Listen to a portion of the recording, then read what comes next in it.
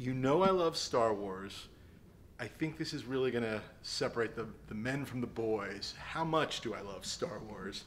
This is part of the lot of the almost 3,000 various transparencies, photos, and whatnot, all pre production and production stuff.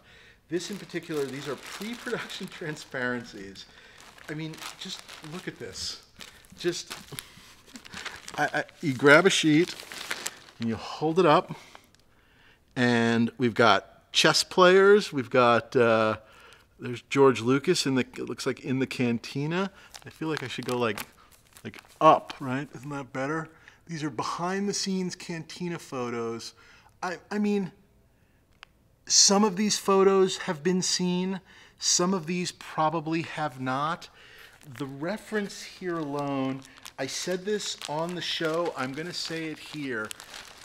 I will. I want to. I want to buy this, but I want to. I want to break the cost up with like 30 other people. So, just come on. Just, just, just email, text us, whatever. Twitter shout at Props Podcast.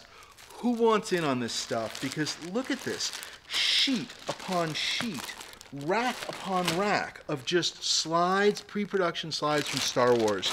I, I, I, it just the the the goodies that are in there in here and uh, the quality just just